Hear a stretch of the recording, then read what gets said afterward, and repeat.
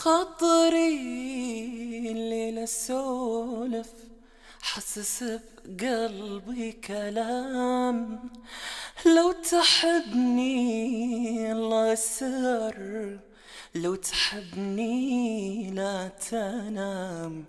يعني ما تقدر تحمل تنتظرني لين أكمل باقي صدري وأنا احكي كل ليلة للظلام.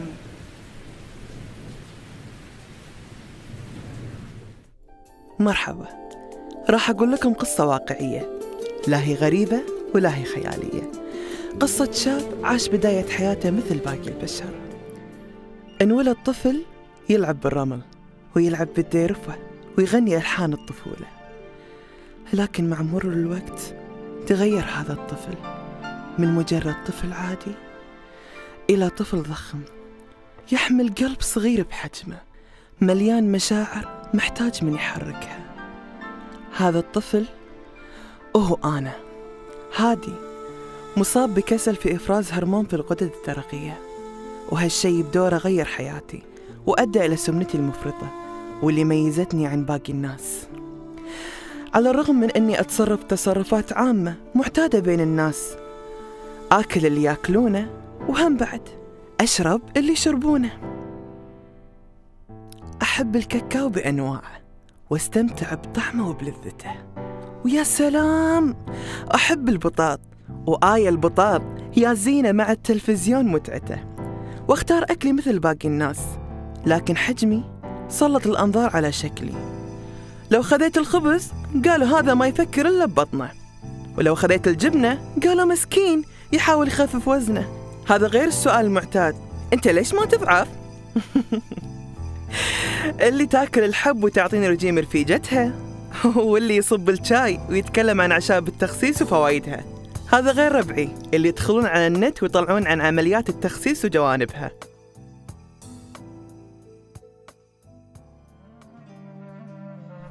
حتى لما أتسوق أدخل مثل الحرامي.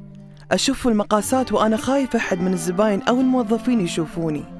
وأنا أختار ملابسي لأن دائما أتعرض للسخرية وأشوف نظرات الناس المؤلمة. كأنهم يقولون هذا الشايب هني متوقع بيلاقي شيء يناسبه؟ يحسبون إن كلامهم نكتة مضحكة لكنها بالنسبة لي جدا مؤلمة وكأني بين الناس غول مو بشر. كلهم ينامون وهم مرتاحين حاطين آمالهم ومستقبلهم. لكن اللي مثلي ينام كل ليلة مهموم يفكر بباجة شنو راح يسوي؟ وإذا زاد وزنه زيادة شلون بتصير حياته؟ وعلى شنو ولا شنو بيحط كل همته وآماله؟ وفجأة تغير كل شيء. اختلطت مشاعر الخوف والحزن عندي. فتحت الثلاجة مثل المينون وشلت كل شيء يزيد وزني. حتى لو هالشيء مو لي. كاكاو حلاو مشروبات غازية وغيرها. وقررت إني أتبع مليون نظام غذائي. لعل وعسى ينزل وزني وزين صورتي بعيون غيري.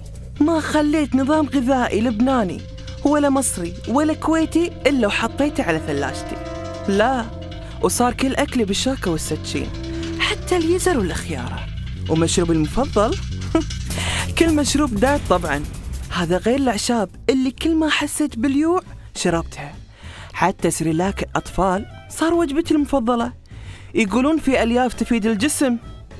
ولما أشتري أكلي ما يعجبني العجب ولا الصيام برجب. كل شيء عندي مو صحي ومغشوش. ولما أنجذب للكاكاو وال fast food أتذكر كلام الناس ووخر وصارت عندي عقدة السعرات الحرارية. كل ما أمسك علبة أشوف سعراتها. وش كثر إيه مناسبة. وصرت أمشي على الرغم من أن تعبي دايما يغلبني وسط كلام الناس. حتى في الرياضة يقولون مسكين. هذا شايف أنه في أمل يخفف وزنه ويتعافى؟ لا طبعا. يعني لا بالأكل راضين ولا بالرياضة مقتنعين. ومن اللي مريت فيه فكرت أنا أسوي هالشي حق منو؟ لي ولا لغيري؟ أنا أتعذب وهم يضحكون وبالبرودكاست يألفون نكت ويفرحون وإذا حاولت أصير مثلهم يستهزئون فيني ويعايرون. وبعد كل هذا ياتني فكرة غيرت حياتي. رحت لأجمل مكان على البحر. ظليت أحفر حفرة للي صار لي من قدر. حفرت قبر بس مو أي قبر. هذا القبر لميزاني. دفنت كل كلمة جرحتني بحياتي وكل لحظة رخصت فيها قيمة ذاتي. وكل ضحكة استهزاء سمعتها على تصرفاتي. وكل دمعة نزلت مني في منامي. وكل نغزة تعني شكلي وغذائي. عرفت أن مفتاح السعادة متاح للبشر. طويت صفحة من حياتي وخليتها للنشر. لأني أخيرا اقتنعت بجمالي دم من ربي. رحت شقيت كل نظام غذائي على ثلاجتي سواء كان كويتي ولا مصري ولا لبناني لأنه مو في حاجتي ورميته في سلة مهملاتي. لو ظلينا نوقف عند نقطة رسمها البشر كان صرنا بعمل الذوق والنظر. ما أنكر أني ما زلت أبكي على فراشي. لكني بهالشكل انخلقت وحاب حياتي. كل ما أطمح له هو الاحترام ونهاية العزلة مهما كان شكلي وذاتي. دام أن حالي حال البشر مجبورة أطبق قوانين الحياة. اليوم رسمت لي خط جديد يعكس معتقداتي وأفكاري وعرفت أني أمتلك العقل والنظر. مو مهم شكلي يعجب البشر المهم أني صاحب مبدأ عظيم بحياتي. حياتي عايشها مرة واحدة. بهالمرة بطلع بزيني وبشيني. اللي يعجبه بحطه بعيوني وعلى راسي.